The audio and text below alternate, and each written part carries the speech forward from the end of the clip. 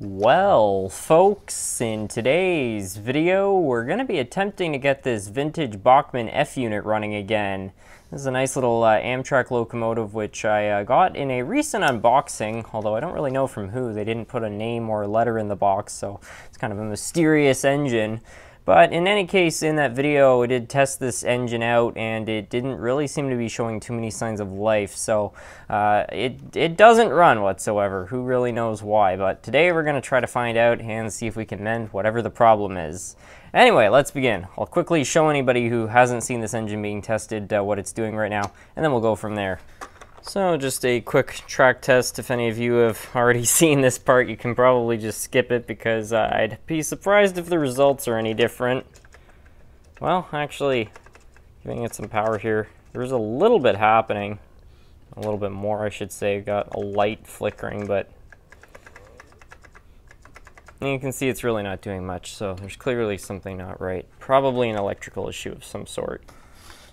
So we'll just pop the shell off of this thing and get right in. Looks like somebody's already been inside this locomotive because uh, usually these screws would be coated in uh, a certain kind of like a resin and I believe it's to prevent people from messing around with these drives because Bachmann did uh, at one point have a warranty on these locomotives. I think they still do to some extent, but uh, it's a little vague. Uh, anyway, let's try to crack this thing open and see if we can uh, dig around a little more.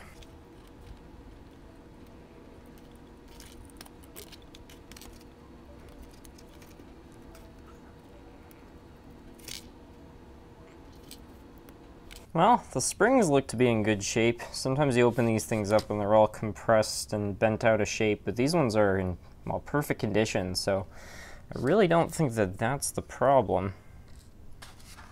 Let's dig deeper.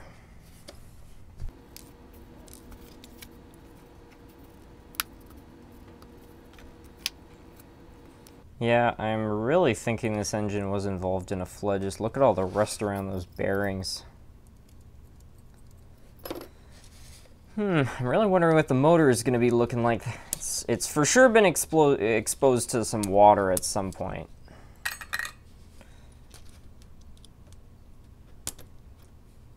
Oh, crap. Well, looks like I'm going to have to try to glue that back together. Very common problem with these uh, older Bachmann engines. You know how they, uh, a lot of them will make it like a very distinctive clicking sound. It sounds kind of like a two-stroke motor. And, uh, it's this. It's hard to see, but there's a crack in this gear, and uh, it happens quite frequently on a lot of these older Bachmann engines. So there's one thing to mend. Anyway, let's try to open up this whole drive and see if we can get to the motor.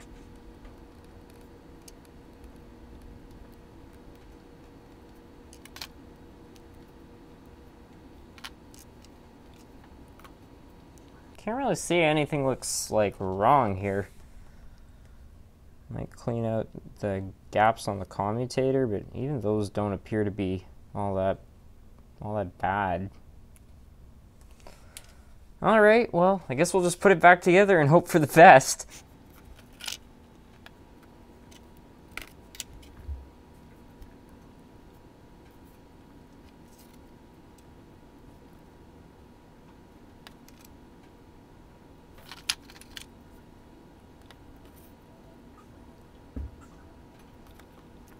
I would bet that there's a proper way to fix these gears, but uh, I don't know what it is. So I'm just going to try to kind of red-green it here and uh, see what the results are. It might just split again. I don't know. It really depends, I guess, how much pressure it's being put under. So I guess we'll put this back together, dry off the excess, and then put it back inside the locomotive. Yes, I have to make sure it's uh, straight and everything too. That's important.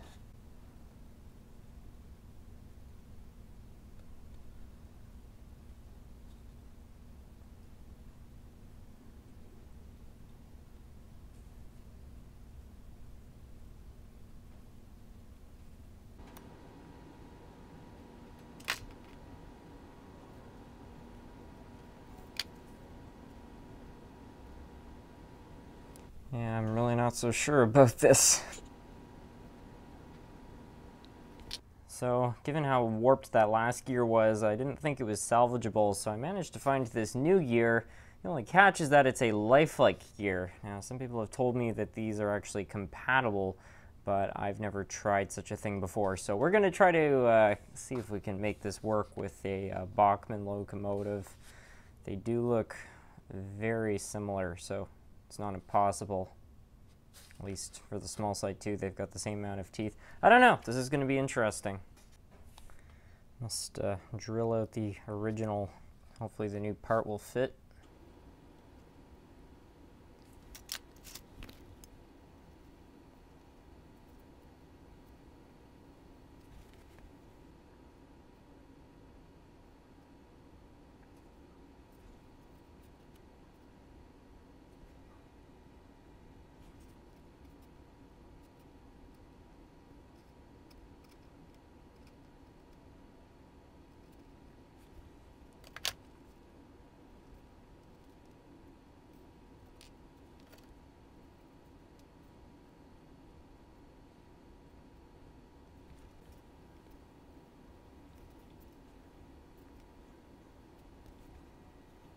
Finally managed to uh, get this part on. This is really going to be interesting.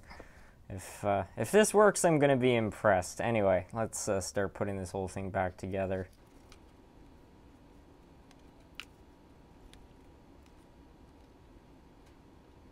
Well, so far it seems to fit, but will the wheels work? That's a whole other question. Before I put them in, though, I'm going to uh, Take a fiberglass pencil and just remove that little bit of rust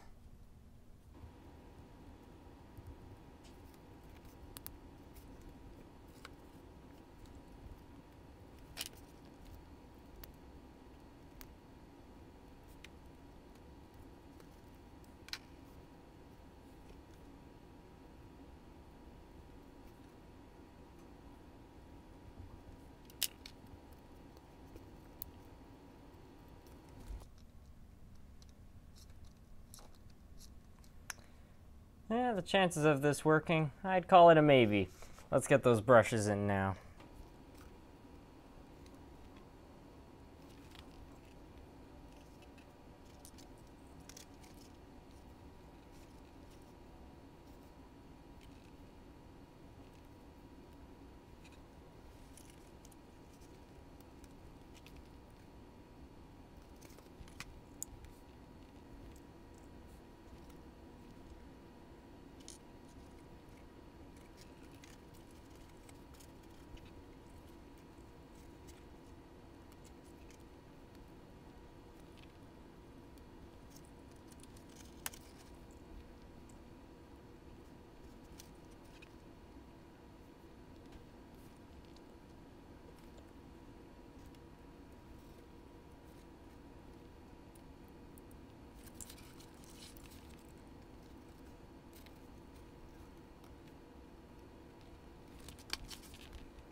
It really wouldn't surprise me if this locomotive's wheels have something to do with its electrical issues. I mean, if it's been in contact with water, it's almost undoubtedly stuff on the wipers. So, yeah, we're going to try to crack this thing open here.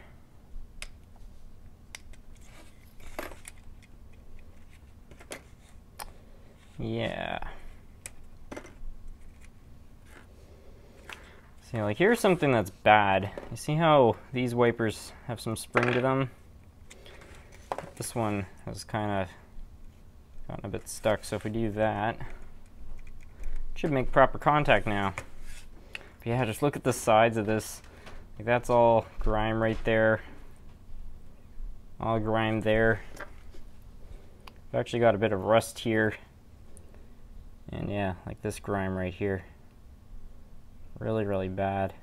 It's actually it's actually chipping off the wheels. That's how thick it is.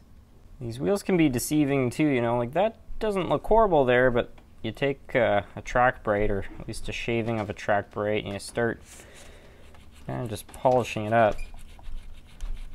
I find in most cases, yeah, you see the difference there? Even when it doesn't look dirty, it sometimes is, which can still cause electrical issues. So I'm just going to clean up all these wheels until they're uh, nice and shiny. Alright, and with those all cleaned up, I think we can just put them back in and Yeah, it seems to be turning all right.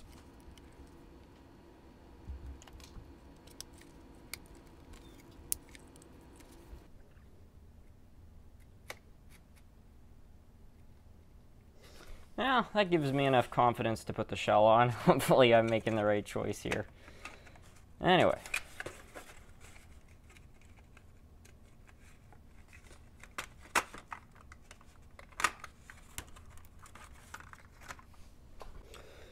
What do all of you think? Is it going to start or not?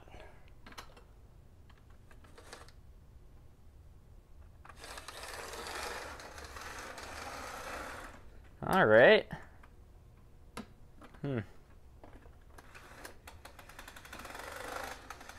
Well, it's certainly not flawless, but uh, I think it can run. I don't know.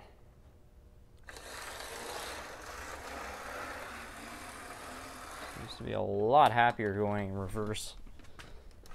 Keeps uh, seizing going forward. Well, now it's running forwards. I don't know. This is a very confusing engine. Well, it's been around five minutes and this thing is uh, still running. I think it has smoothed out a little bit, so I think I'll call it a day here. Fortunately, it does have that sound uh, that these older Bachmanns are prone to having. It's all because of that one gear. But we've learned something new today, which is apparently you can put Life-Like gears in these engines, so uh, I guess we can put another Life-Like gear in this and we can actually fix that problem. Yeah, I'm pretty confident that that run did uh, smooth it out a little bit. At least it can start under its own power now.